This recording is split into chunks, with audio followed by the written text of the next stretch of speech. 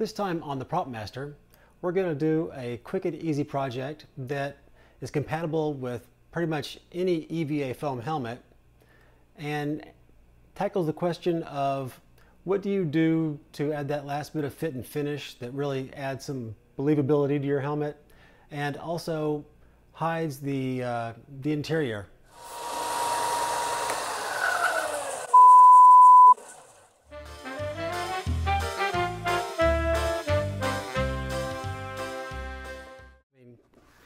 face it, we've all been there where you spent hours upon hours working on a helmet, getting it exactly the way you want to, but anyone who's shorter than you is seeing something that's not quite as nice.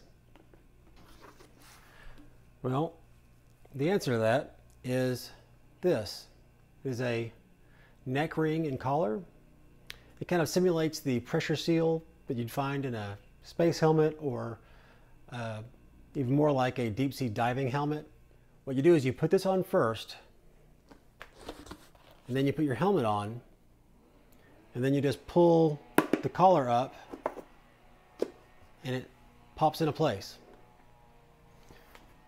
It really makes the, uh, the bottom of the helmet look much nicer. And it's quick and easy to make. I made this one out of some EVA foam and uh, an old turtleneck that I had. Today we're going to do the same thing for my son's Jango Fett helmet using a mock turtleneck that he's grown out of.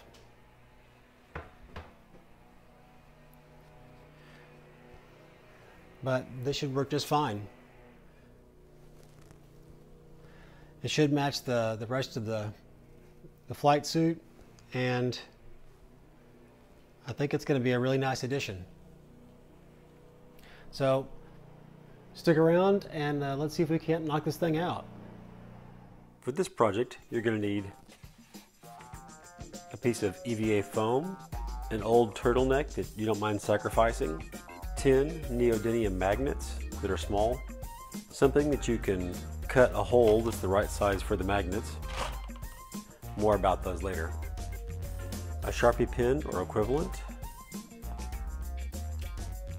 A sharp knife. Some super glue. Barge cement.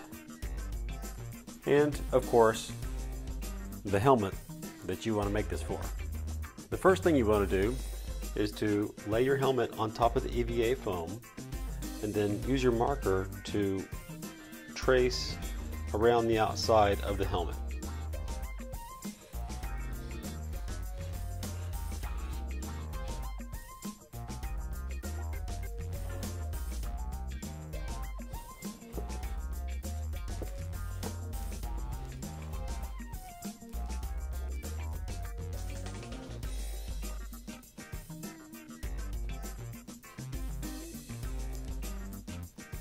Next, measure in the width of your EVA foam,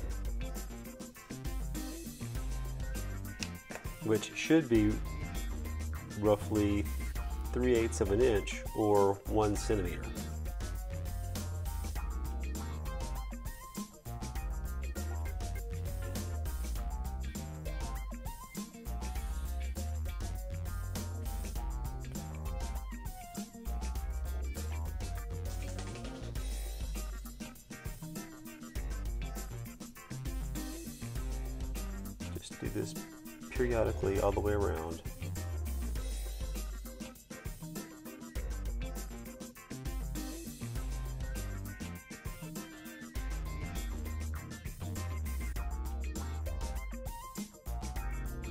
You're going to want to straighten out this area where the ears pop out. Or if you're using a different helmet, any area that is attached to the basic outline.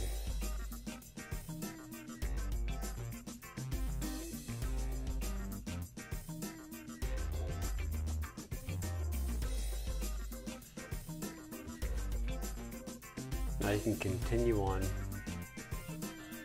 measuring the width of the film.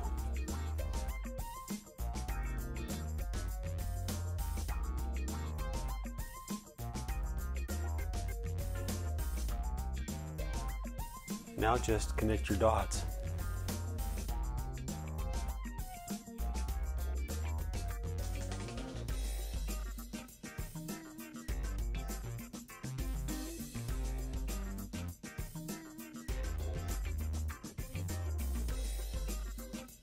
I had to take a break there while I took apart my garage trying to find the cap that I knocked off behind the work area. so the next thing you want to do is mark another line on the inside that's going to be basically the width of the collar itself. Um, I don't have a predetermined amount for that. It needs to be uh, small enough that you can get your head through it, um, but thick enough that it's reasonably rigid, but you want it to be flexible at the same time. So I'd say a good amount would be, well, maybe just slightly inside that 3 eighths or 1 centimeter. And I'm probably just going to freehand this.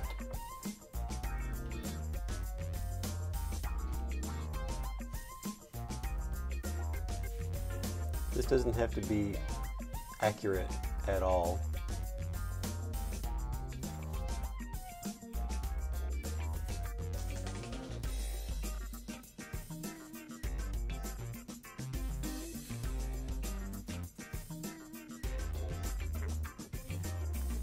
You basically want to cut out this piece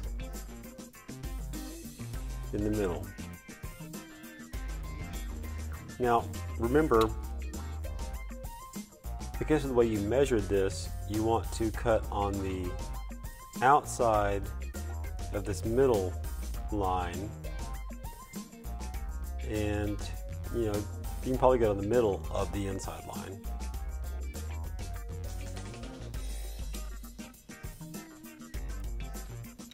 go down the outside of that one if you want to stay consistent. But it's this middle line that you're most concerned with as far as making sure that you get it pretty close. This will be what determines how it fits into your helmet.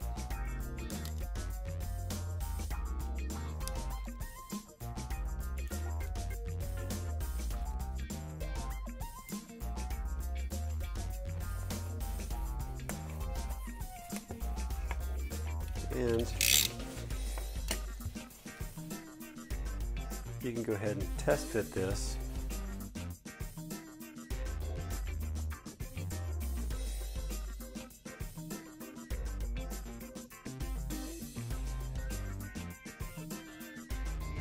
This will be a lot more flexible once you cut the ring out.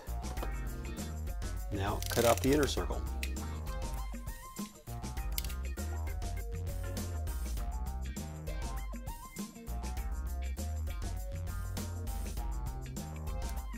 Only real important thing here is to make sure that your head can fit through this.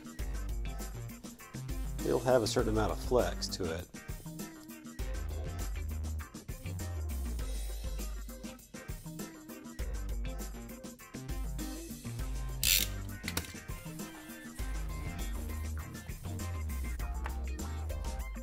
Okay. Now that you have your neck ring you're going to want to uh, put some holes in it to put your magnets in.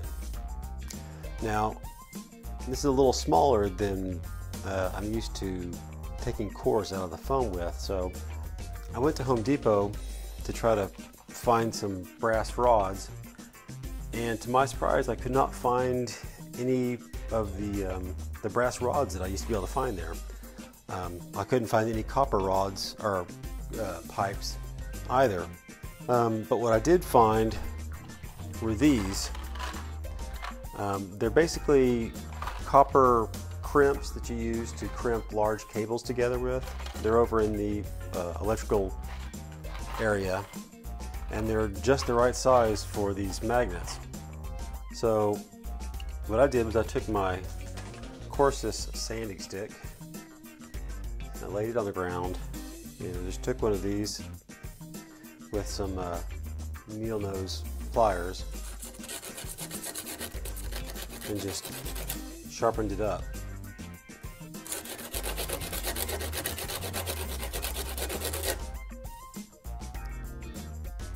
And if it gets a little bit out of round, you can then take your pliers and just push them in there and round it off again. Now basically you just want to do one on each side up here near the front, one on each side a little bit past where it straightens out here, pretty close to where the, uh, the back end of the ears are and then do one in the very middle in the back. And you just take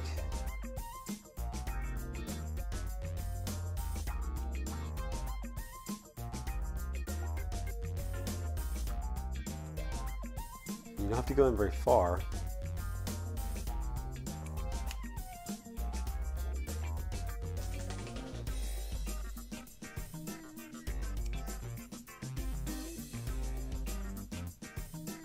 You'll have to go in a little more than an eighth of an inch.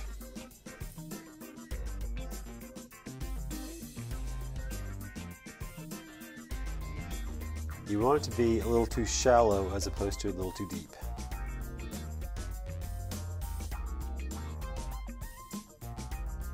Of choke up with your pliers so you don't go any deeper than you need to.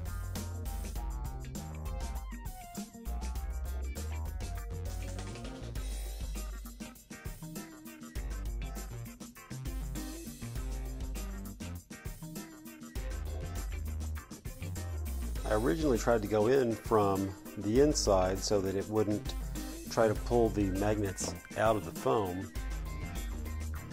But even with these uh, powerful rare earth magnets, they're not quite powerful enough to uh, hold everything in place if there's anything between them. Now if any of these are too deep, you're going to want to kind of plug them up. At this point, go ahead and take one of your magnets and fit it into one of your holes and you want it to be as close to flush as you can. This one's in a little bit deep. So take one of the, the cores that you cut out earlier one of the thinner ones preferably. And put just a tiny little bit of super glue in there and drop your plug in.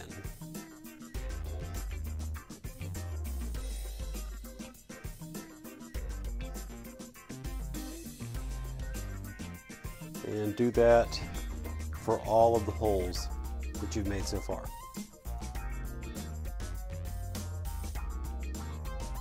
And that's there you go. That's more what you want to see.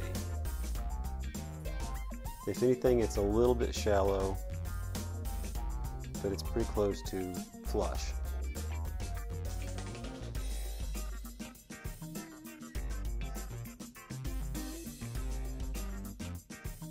And once you have that, just go ahead and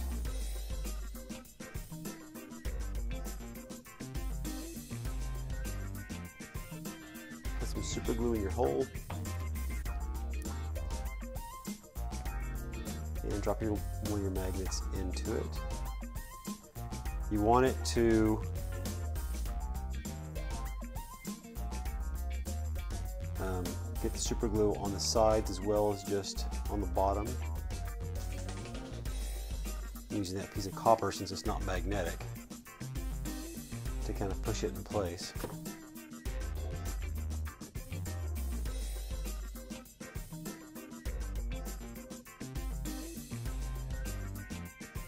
Gloves would actually be a pretty good thing to have right now because once again I want to try to super glue my fingers together.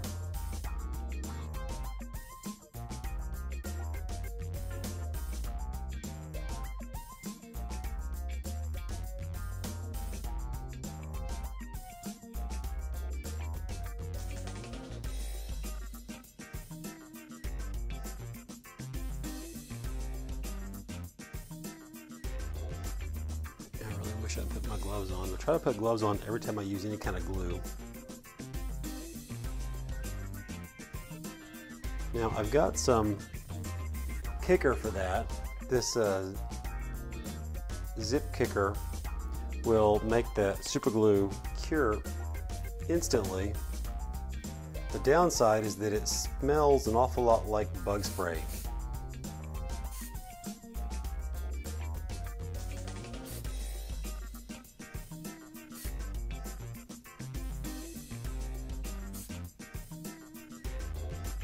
You have to kind of, you have more patience or if you have less patience, then you have to deal with the, uh, the smell. Now it's time to deal with your turtleneck. Now, initially I was going to try and use one of my son's mock turtlenecks that he'd outgrown, but what I found when I tried it off, when I actually tried it on him, is that with a mock turtleneck, because it's so much shorter, the collar is so much shorter, it really needs to be small. I mean, it has to be very tight around your neck. Um, otherwise, your chin actually kind of sticks through it pretty easily um, once you put it in the helmet. So a turtleneck is definitely better for this. This is not my son's turtleneck. This is one of my old turtlenecks. Um, but because it's a turtleneck and has such a long neck, it still works fine for someone that's much smaller than me. And what you want to do is come out, I don't know, maybe four or five inches. You don't have to be real precise about it, just kind of eyeball it. And take some scissors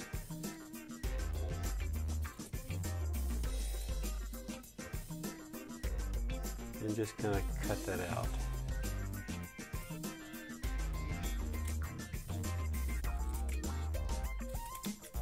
I'm cutting both sides at once, so it's probably better that I go a little more.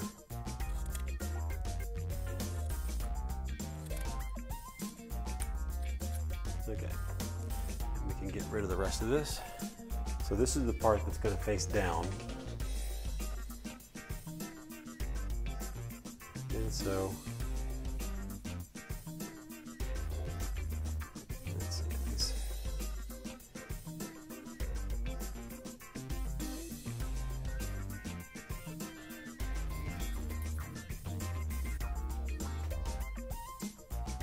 basically just want to kind of spread this out into a circle with the turtleneck collar sticking up through your neck ring.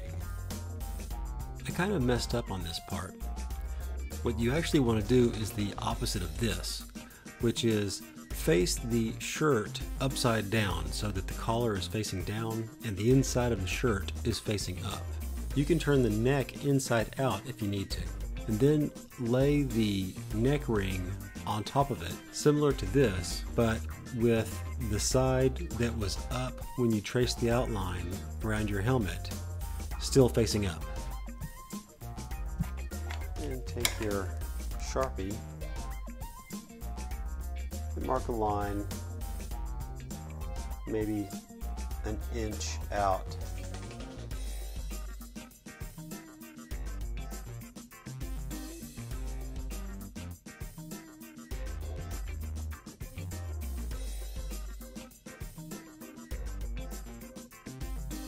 Now I can cut away all the excess material.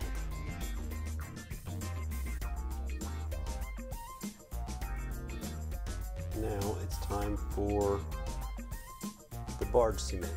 Basically, I'm going to put some barge cement on the sides of the neck ring, one coat, and probably also this top part of the neck ring. And I'll coat the shirt this whole, you know, sort of one inch area of the shirt out here with barge cement as well.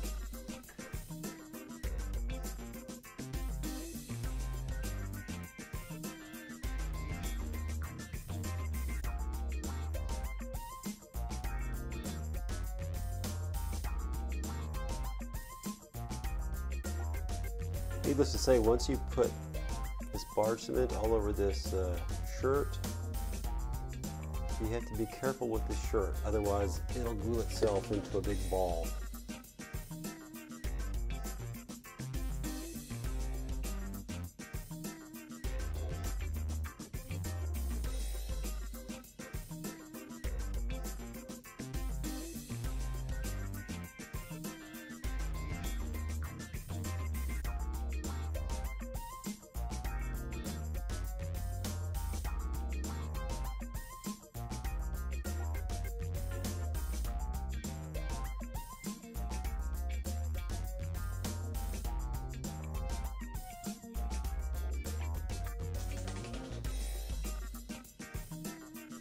Let's get the top as well.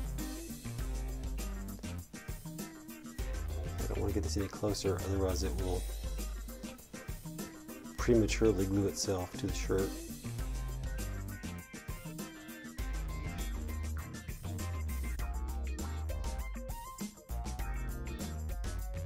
And once again, I'm not wearing my gloves. What am I doing?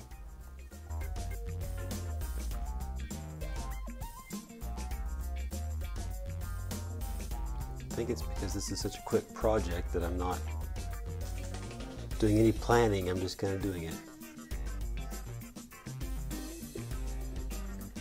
Okay, I'm to let that dry and then we'll put on a second coat. Okay, I've got my gloves on and I'm ready for the second coat.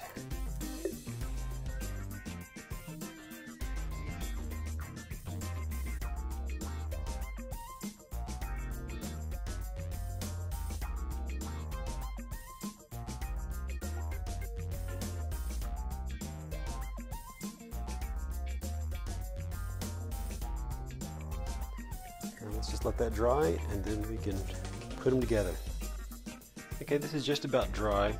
I've been taking these pins and just kind of tacking the edges out. Since I'm actually working on a rubber surface and I can do this, I thought I'd take advantage of it. That'll just kind of prevent all the stuff from sticking to itself. There's a couple areas here that are a little tacky, but I think they're okay. Same goes with the collar. It's 99% good. You just want to set this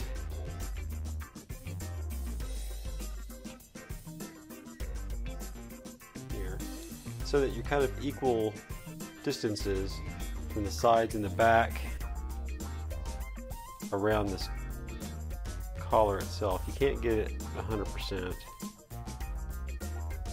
There'll be a little bit more room in the back than there is on the sides, but you want the majority of the extra space to be in the front.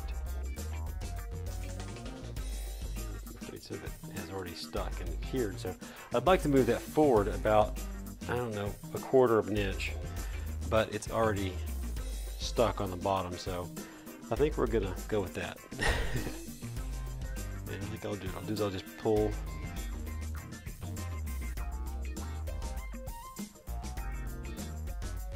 Piece up.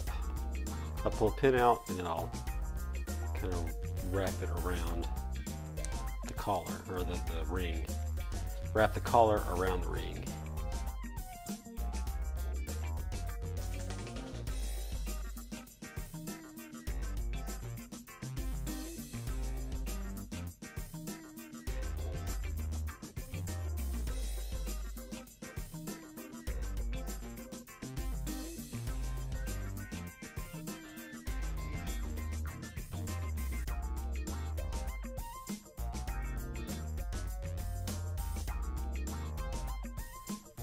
just realized that I made a mistake.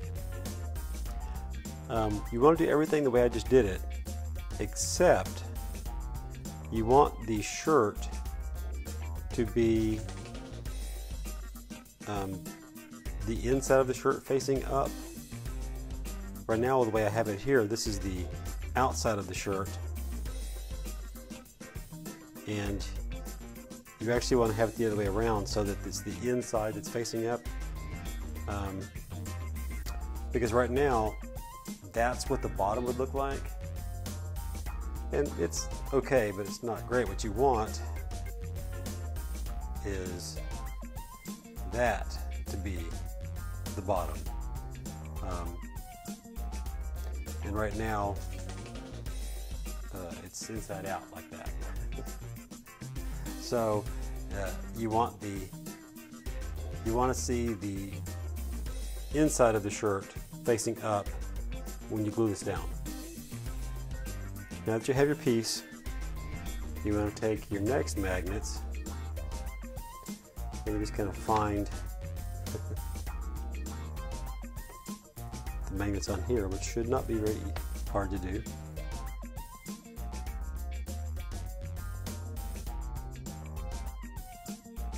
Okay, there we go. So now you have all five mag magnets here. I'm going to pick a paint marker. I know that's not going to rub off. And I'm just going to put a dot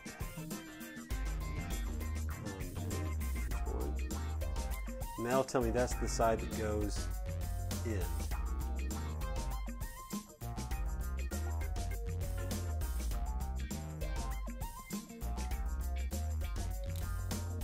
You could, if you wanted to, you could like mark one, two, three, four, five, and then mark each location, one, two, three, four, five. That way you knew that it was in the right spot. What I'm gonna do is I'm just gonna take it out and glue it in position. That way I won't lose track of them.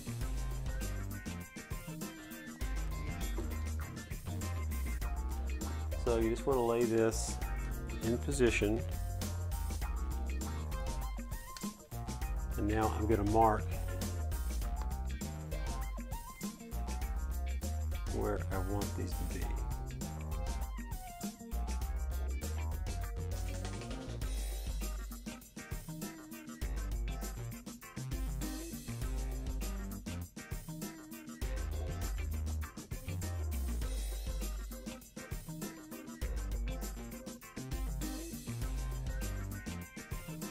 Make sure you're holding the magnet where you just marked so that the next magnet will be in the right place when you mark it.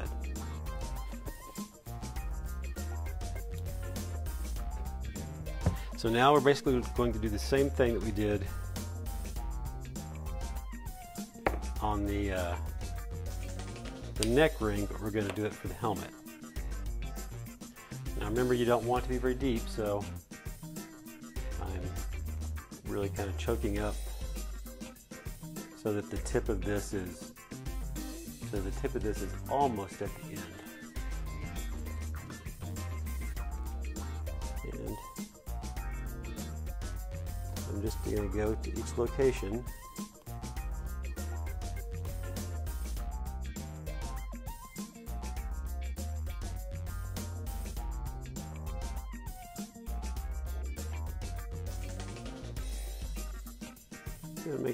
at least uh, an eighth of an inch from the edge of the helmet.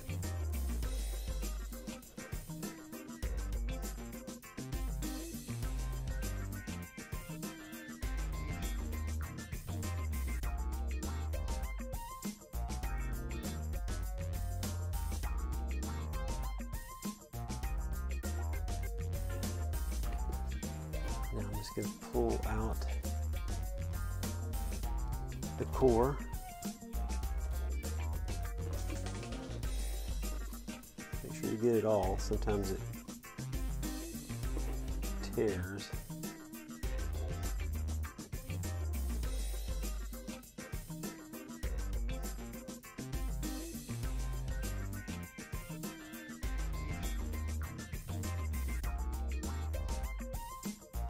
seems to be all. And just like on the neck ring, you want to just pick one of your magnets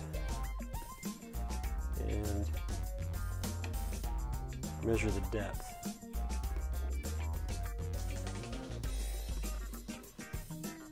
And if any of them are too deep, as that one is just slightly too deep, or maybe even more than slightly, you just go in with uh, some of your material. I'm going to cut this down. I'll usually take my thickest little core that came out cut it into little wafers. You can also take a piece of scrap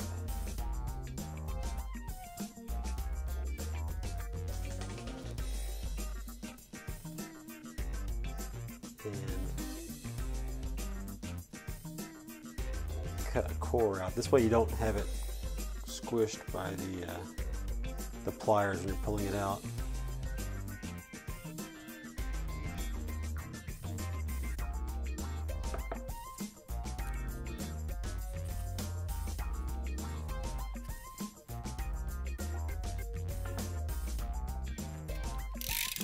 This into wafer uh, size little pieces, just into little wafers. Or discs, I guess you could call them.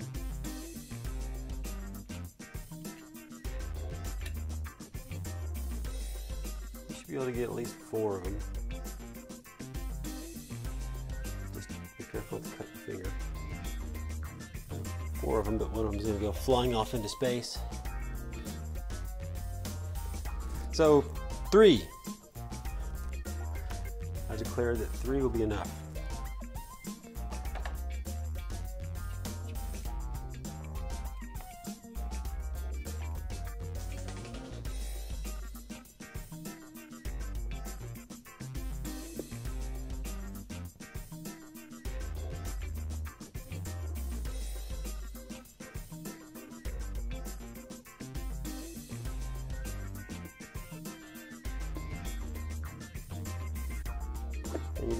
Repeat that process all the way around the helmet.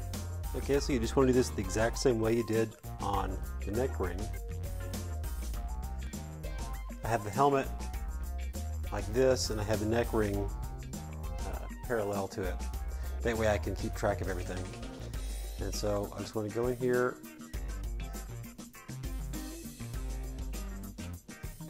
with super glue I'm going to go over this side and find the magnet goes with it.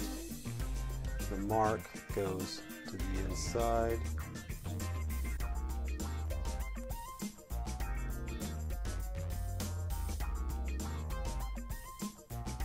And you just want to repeat that for all five spots on the helmet. And that's it. Other than the fact that I put this on backwards, um, really should be like this.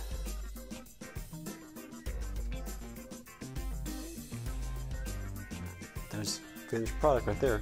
Um, you just slip this on over your head so that it's down your shoulders. Then put the helmet on, and then you just pull this up into place and it will snap right into place.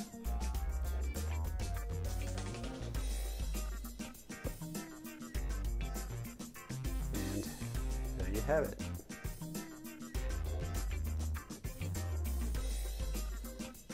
If uh, this had been done the right direction, then uh, then it would be better, but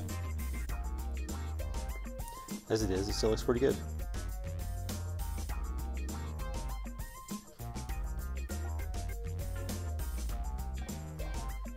Well, there you have it. Now you're ready to seal up your own helmet, block the view inside, and give it a more finished, believably real appearance. As always, I hope this video was helpful, and if it was, go ahead and like it. Subscribe so you can stay up to date with my most current projects, and check back often just because it really helps the channel. Thanks, and I'll see you in the next video.